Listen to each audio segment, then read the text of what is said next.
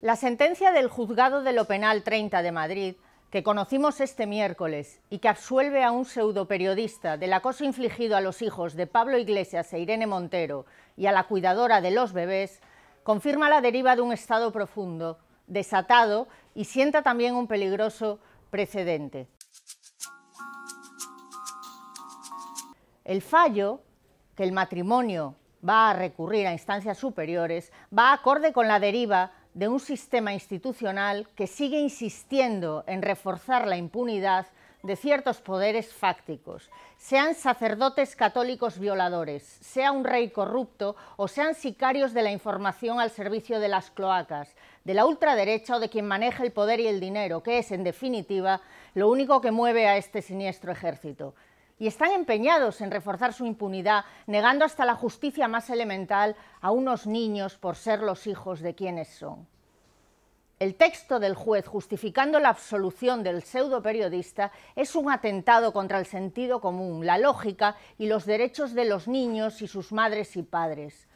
La información jurídica la tienen al detalle en público, pero yo, como madre, periodista y ciudadana, quiero quedarme con dos cosas. El juez considera que los niños no fueron acosados porque al ser unos bebés no se enteraban de que eran acosados, es decir, el señor Justicia pone la carga de la prueba negativa sobre unos niños de un año y no sobre el presunto acosador que les persigue cuando van con la niñera, otra víctima del acoso que no es, según el juez. Por otro lado, este mismo juez considera que Montero e Iglesias no sufrieron directamente el no acoso a los bebés, ya que estos estaban con su niñera y no con ellos. Este señor, en su inmensa sabiduría emocional, viene a decirnos así que cuando una madre y un padre no están con sus hijos o hijas y no ven lo que les pasa, no sienten ni padecen por ellos, aunque sean niños de un año con un sujeto que les persigue intentando colarse en su casa, en su guardería y en su vida. Es todo tan irracional que cuesta creer que las instancias judiciales superiores no vayan a dar la razón a Iglesias a Montero.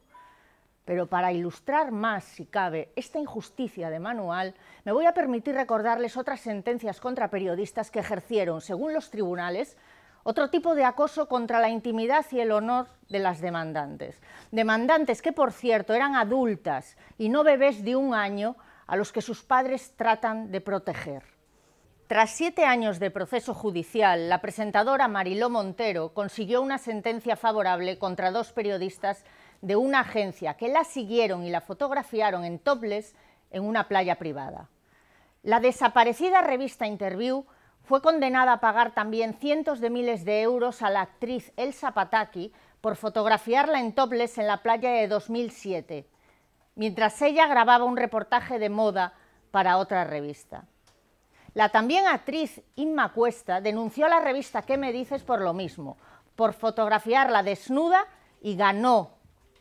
esa demanda. Como la princesa británica Kate Middleton, que fue retratada en otro topless en el jardín de su casa, demandó y ganó cientos de miles de libras, cientos de miles de euros. Con todo el respeto a estas mujeres y sus peligrosas tetas, que diría Regoberta Bandini, y aplaudiendo además sus, sus victorias judiciales contra acosadores,